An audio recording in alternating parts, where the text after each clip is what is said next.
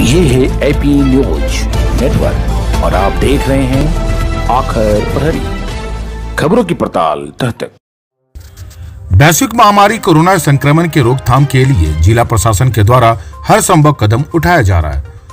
जिलाधिकारी जसपाल मीना के निर्देश के आलोक में आज समरणालय परिसर से डीडीसी बैबा चौधरी ने हरी झंडी दिखाकर नुक्कड़ नाटक टीम का रवाना किया। इस अवसर पर उन्होंने बताया कि सभी ज़िले वासियों में टीकाकरण के लिए जिला प्रशासन प्रयत्नशील है। इसमें आम भागदारी भी बहुत ही ज़रूरी है।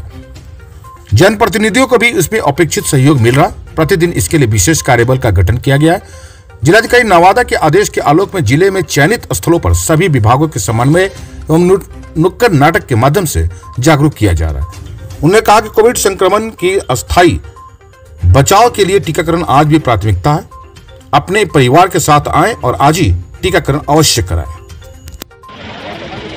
जी, आज हमारे ज़िले में टीका एक्सप्रेस रवाना किया गया है। इसका मुख्य उद्देश्य ये है कि इसमें हमारे जो लोकल कलाकार हैं, उन लोगों के द्वारा ही सभी हमारे जो शहरी क्षेत्र में है, जहाँ पर लोगों में अभी अवेयरनेस का कमी है या लोगों में कुछ भय है, उसको हम लोग दूर करें और लोगों को मन में भ्रांति हम लोग हटाएँ, ताकि हमारे यहाँ पर शहरी क्षेत्र में टीका का कार्य काफ़ी तेज़ी से बढ़े और लोगों में जो भी डर है, वो सब खत्म होकर सभी लोग टीका के लिए प्रेरित करें। और मैं आप सभी मीडिया बंधुओं के माध्यम से फिर से सभी हमारे जिलेवासियों से अपील करूँगा कि सभी लोग टीका लें ताकि कोविड की जो आने वाली संभावित तीसरी लहर है, उससे सबका बचाव हो सके।